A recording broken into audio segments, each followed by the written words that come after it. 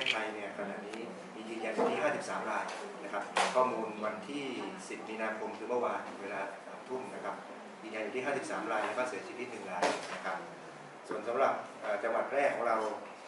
ตั้งแต่เริ่มมีเรื่องไวรัสโคโรนา 2019 หรือโควิด 19 มาจนถึงวันนี้นะครับเวลา 9 โมงเนี่ยเรายังไม่พบผู้ป่วยที่ไปในโรงเรียนจังหวัดแพร่เลยนะครับ ไม่มีคนแพร่ที่ป่วยด้วยโรคนี้เลยนะครับ ขอให้ทุกคนระวังกันได้นะครับ เรามีอยู่มีผู้ป่วยที่เข้าเกณฑ์เฝ้าระวังนะครับ ก็คือมีอาการไข้มีอาการกระเดือกใจอักเสบแล้วก็เดินทางกลับมาจากประเทศเสี่ยงนะครับ แล้วก็เรานำเข้าสู่ระบบการตรวจทั้งหมด 12 รายนะครับ ก็ยืนยันว่าเป็นผลลบทั้งหมดนะครับ ไม่มีผู้ป่วยแม้แต่รายเดียวนะครับ คือในส่วนของจังหวัดแพร่เนี่ยของสาธารณสุขเราเปิดศูนย์ตั้งแต่วันที่ 22 มกราคม ตั้งแต่มีเคสใหม่ๆของของทั้งของประเทศแล้วเราเตรียมความพร้อมในระดับจังหวัดวางแผนสื่อสารลงไปถึงอำเภอว่าจะต้องทำอะไรบ้าง เตรียมการอะไรบ้างนะโรงพยาบาลจะต้องเตรียมห้องให้ให้พร้อมห้องกำนันรถเนี่ยนะครับ ห้องแยกหรือแม้แต่เส้นทางเดินในโรงพยาบาลนะครับจะต้องเป็นเส้นทางเดินในการขนย้ายกรณีที่มีการเจ็บป่วยขนย้ายจะต้องไม่ไปปะปนกันซึ่ง หลังจากที่มีเหตุการณ์ว่าอาจจะมีผีน้อยเข้ามาหรือความตื่นตระหนกของประชาชนจนเกินไป จากการรับฟังข่าวที่น่าวิตกกังวล ว่าจะมีโรคนู้โรคโรคโควิดในพื้นที่เราแล้วจะสร้างความแตกตื่นจากข่าวปลอมบางบางบางบางแห่งนะครับประชาชนก็จะตื่นตระหนกแล้วก็เกิดความไม่ไว้วางใจกัน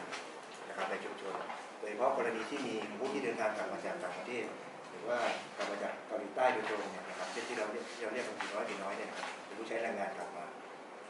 ชุมชนบางพื้นที่มีปัญหาคือไม่ยอมรับ อาจจะเกิดความแตกแยกขึ้นในชุมชนได้นะครับ อาจจะระเกียดระเกียดไปถึงครอบครัวของเขา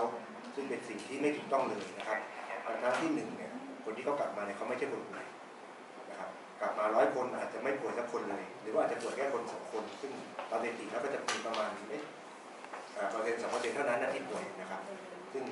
ส่วนใหญ่เขาไม่ได้ป่วยการรังเกียจเนี่ยจะทำให้เกิดความแตกแยกในชุมชนนะครับ บางพื้นที่ถึงกับร้านอาหารไม่ขายของให้ไม่ไม่ทำอาหารให้เวลาญาติออกไปซื้อนะครับนี่คือสิ่งที่น่ากลัวกว่าโควิด -19 นะครับคือความแตกแยกของของประชาชนนะครับผมก็ให้เจ้าหน้าที่สาธารณสุขวางแผนสัปดาห์นี้สัปดาห์หน้า เพื่อจะลงไปทุกหมู่บ้านไปประชุมไปประชุมชาวบ้านประชุมประชาชนเพื่อที่จะสร้างความเข้าใจนะครับเพื่อที่จะให้ไม่ตื่นตระหนกจนเกินไป ไม่หวาดระแวงกันจนเกินไปนะครับ แล้วก็ประชาชนอยู่กันอย่างเข้าเข้าใจไม่รังเกียจกันนะครับ ก็จะให้คงความรักความสามัคคีภายในหมู่บ้านในชุมชนไว้ต่อไปนะครับครับขอบคุณครับนี่คือการดำเนินงานของจังหวัดแพร่ครับนี่นะฮะเขาแสดงความจำนงไว้กับเจ้าหน้าที่ตั้งแต่แรกแล้วนะครับ ว่าเขาจะจะกักกันตัวเองอยู่ที่บ้าน ซึ่งเขาจะใช้ที่สวนของเขาเขาบอกตั้งแต่แรกนะครับ ว่าจะไปอยู่สวนนะครับ ซึ่งเขาก็มีความสุขของเขาที่นั่นนะครับ ผมก็ไม่รู้จะว่ายังไง แล้วก็เจ้าหน้าที่ที่ไปสังเกตอาการแต่ละครั้งจะจะผ่านทางครอบครัวเขานะครับแล้วก็ก่อนที่เข้าไปเขาก็ให้ความร่วมมือดีมากไม่ไปไหนเลยด้วยซ้ำนี่คือสิ่งที่ควรจะเป็นด้วยซ้ำคือแยกตัวเองออกไปจากครอบครัวออกไปจากคนอื่นซึ่งเขาก็มีความรับผิดชอบมากเขาห่วงห่วงครอบครัวของเขาห่วงที่จะทำให้สังคมเดือดร้อนเขายินดีที่จะไปอยู่ที่นั่นด้วยตัวเองนะครับ ผมไม่ได้ว่าไปกักกันเข้าไว้ที่ป่าอะไรทั้งสิ้นอันนี้เป็น ผมก็เสียใจว่าเอาสื่อข่าวไปแบบนี้ผมก็เสียใจนะครับว่าสิ่งที่ทำดีแล้วเนี่ยกลับกลายเป็นถูกมองว่าไม่ดีนะครับสำหรับเรื่องนี้นะครับชี้แจงแบบนี้ครับขอบคุณครับ